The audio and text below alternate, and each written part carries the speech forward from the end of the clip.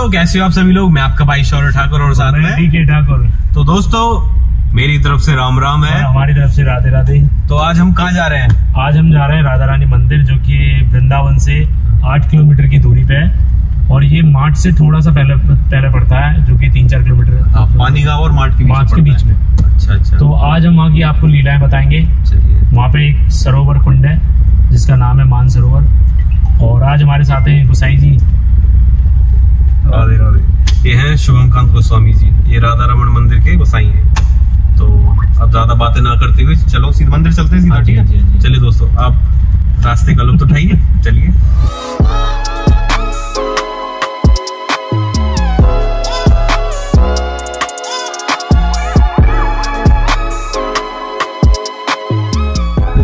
यमुना जी आ गई हमारी। काफ़ी बहाव है भाई साहब तो ये सामने तक पूरा भरा हुआ था। आज तो घट गया पानी थोड़ा सा। ये मार्ट वाला रोड चल रहा है। ये मार्ट वाला रास्ता है। मेरे हिसाब से दस किलोमीटर ही है ना मार्ट यहाँ से? पाँच सौ किलोमीटर बचा हुआ दस बारह किलोमीटर।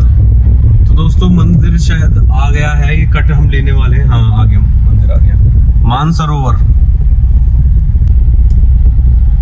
तो दोस्तों मंदिर के गेट में हमने एंट्री कर लिया है। यहाँ से 500 500 मीटर 500 दूर है मीटर ही है, हाँ 500 मीटर दूर है चलिए फिर आगे बढ़ते हैं हाँ सब मेला वेला लग रहा दिखे यहाँ पे कुछ हाँ, बस एक ही। पता नहीं क्या है मेला वेला लग रहा है यहाँ पे भीड़ भाड़ काफ़ी Yes.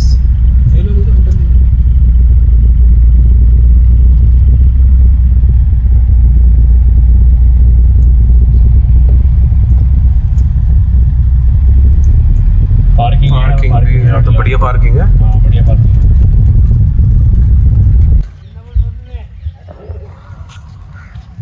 हाँ जी दोस्तों मंदिर के अंदर हम आ चुके हैं। गाड़ी हमने वहाँ पार्क कर दी है। तो धूप काफ़ी तेज है ब्रो काफ़ी हाँ, बढ़िया। मंदिर अभी यहाँ से दिख रहा है। ये इधर है मंदिर।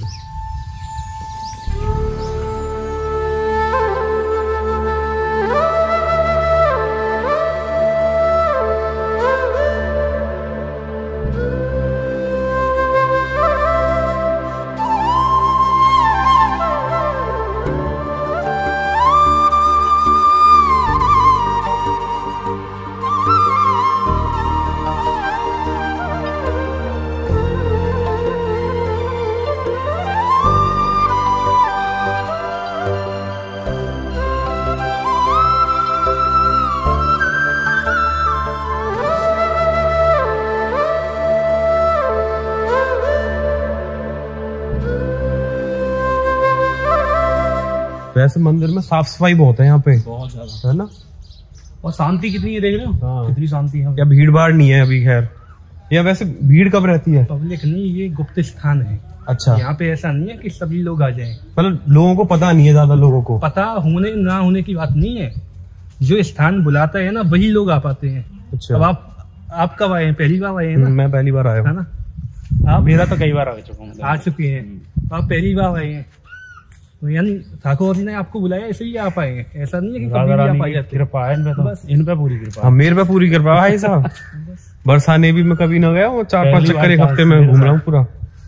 चलिए भाई साहब। यहाँ तो बहुत अरे शांति यहाँ बड़े वो हैं। सरोवर ही सरोवर दोस्तों एक और सरोवर। नहीं वही सरोवर है। वही है। अच्छा। एक ही है। पूरा वही है। भाई साहब ये जो सरोवर वहाँ पे था ना वही है ये। मतलब कितना बड़ा होगा ये फिर? आप देख सकते हैं यहाँ से लेके वहाँ तक आप देख लो साफ़।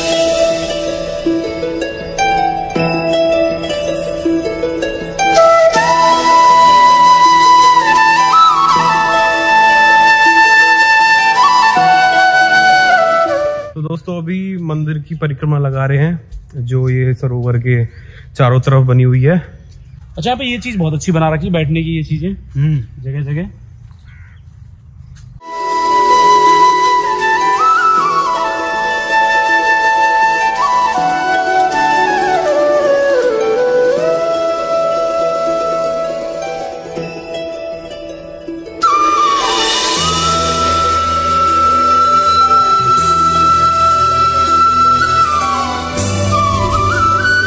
हाँ जी दोस्तों तो राधे राधे, हमने आपको दर्शन करा चुके हैं मंदिर के।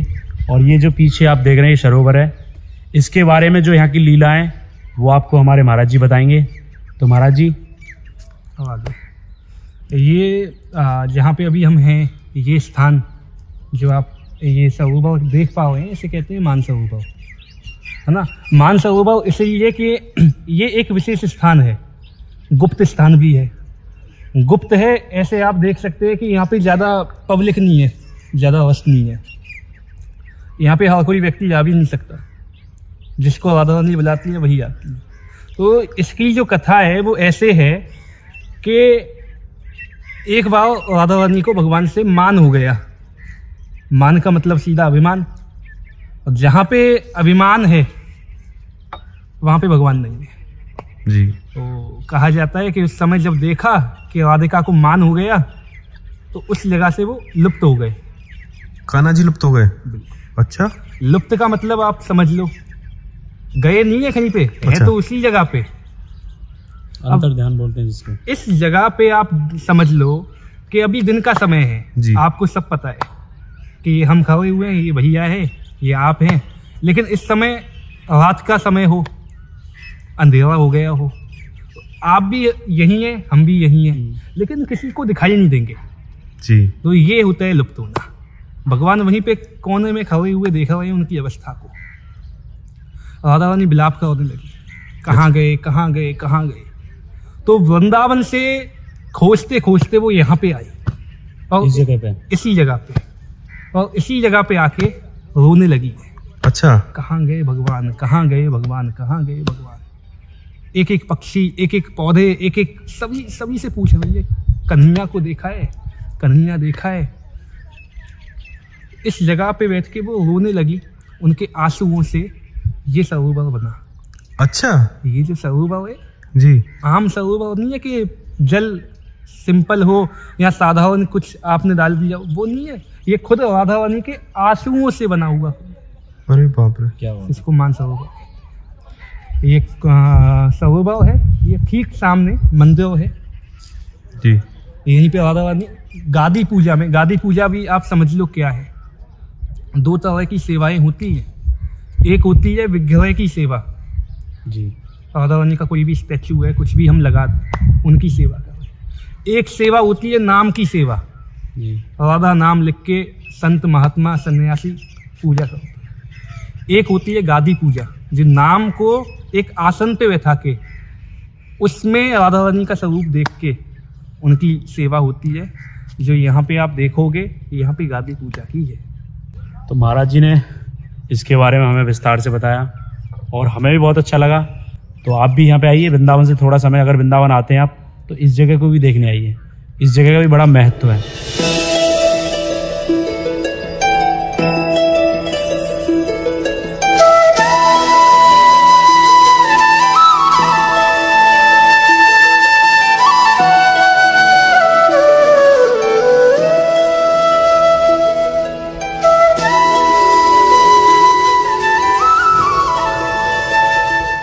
हाँ जी दोस्तों तो आपको दर्शन करा दिए मंदिर के और इस ब्लॉग को यही एंड करते हैं। होप करते हैं आपको ब्लॉग अच्छा लगा होगा। अगर अच्छा लगा है तो प्लीज़ इस वीडियो को शेयर ज़रूर कर देना और कमेंट भी करना। अच्छा लगा, बुरा लगा या कुछ मिसिंग था और बस।